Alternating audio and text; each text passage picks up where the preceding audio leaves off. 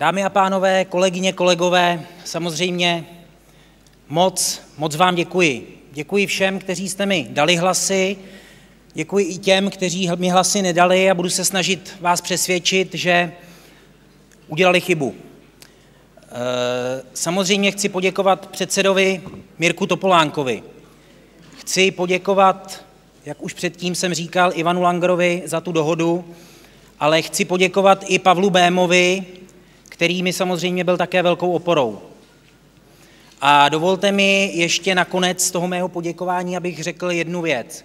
Já už jsem zaznamenal z médií, čí jsem vlastně člověk, jestli Mirka Topolánka, Pavla Béma, co budu dělat, jak a, ta, a, a další věci. Chci vám říct jedno, jsem svůj a jsem David Vodrážka ze Stodůlek. Díky.